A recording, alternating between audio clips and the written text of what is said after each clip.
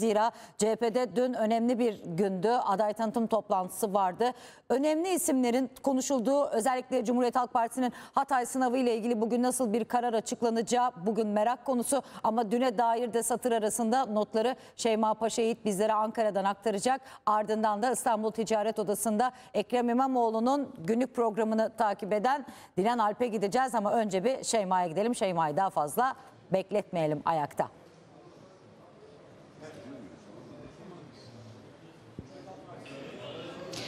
Son dakika gelişmesini aktararak başlayalım. Hatay Belediye Başkanı Lütfü Savaş yaklaşık yarım saat önce Cumhuriyet Halk Partisi Genel Merkezi'ne geldi ve dakikalar öncesinde beklenen görüşme başladı. CHP Genel Başkanı Özgür Özel ile Lütfü Savaş an itibariyle toplantıdalar. Görüşmeye devam ediyorlar. Dakikalar önce başladı. Görüşmede başka kimler var? Genel Sekreter Selin Sayek Böke, Genel Başkan Yardımcısı Gökhan Zeybek ve Hatay İl Başkanı Hakan Tiryaki de o görüşmeye eşlik ediyor. Dolayısıyla 5 kişilik bir görüşme var. Peki bu görüşme neden önemli? Hızla onu aktaracak olursak Hatay Belediyesi'ne yeniden aday gösterilmişti Lütfü Savaş. O zaman da tartışmalar başlamıştı ama depremin birinci yılında, birinci yıl dönümü anmalarında Lütfü Savaş protesto edilmişti. Özgür Özel ve parti kurmayları değişebileceği sinyallerini vermişti.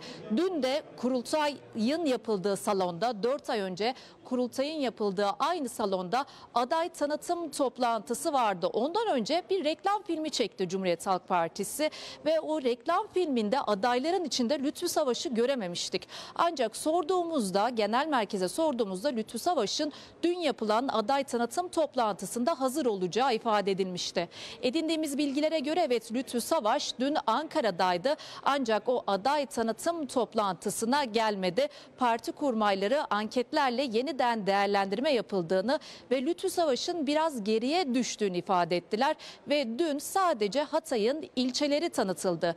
Genel e, Hatay'ın büyük şehir olarak genel merkez tarafından duyurulmuştu Lütfü Savaş ancak dün ismi okunmadı Lütfü Savaş'ın ve bu tartışmaların eşliğinde Özgür Özel bugün yeni bir açıklama daha yaptı ve 36 saatlerinin olduğunu söyledi.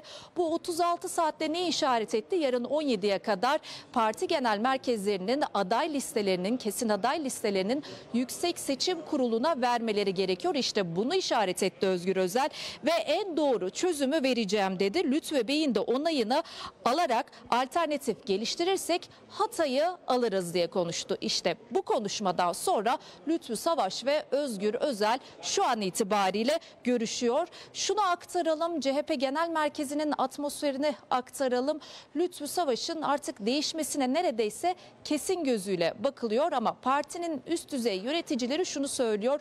Lütfü Savaş'ın da gönlünü kırmadan onunla birlikte yeni bir aday arayışındayız diyor. Dolayısıyla CHP'de de az bir vakit kaldı. CHP için az bir vakit kaldı. Yarın 17'ye kadar kesin aday listelerini sunmak zorundalar. Bugün görüşme bitiminde yeni bir aday açıklanır mı yoksa yarın mı görürüz? Görüşmenin bitiminde bakacağız. Dün açıklanmayan iki yer daha vardı. Bunu da parantez içerisinde belirtmiş olalım. Dem'le işbirliği görüşmeleri kapsamında Esenyurt adayının ismi dün açıklanmadı. Ali Gökmen aday olarak gösterilmişti ama dün Esenyurt Belediye Başkan adayı olarak Ali Gökmen'in ismi duyurulmadı. Diğer bekleyen bir yer ise Dem ile işbirliği kapsamında diğer bekleyen yer ise Mersin Toroslar. Herhangi bir isim telaffuz edilmedi dün yapılan aday tanıtım toplantısında. Dolayısıyla bugün Hatay Belediye Başkanı Lütfü Savaş'ta devam edilecek yoksa atmosferin de söylediği gibi bir değişim mi yaşanacak? Esenyurt için ve Toroslar için kimlerin ismi çıkacak? Bunları takipte kalacağız. Teşekkürler Ee, Şeyma Paşa'yı kolaylık dileyelim sana. DEM Parti Sözcüsü Ayşegül Doğan Esenyurt özelinde Cumhuriyet Halk Partisi ile kent uzlaşısı kapsamında anlaşıldığını duyurdu.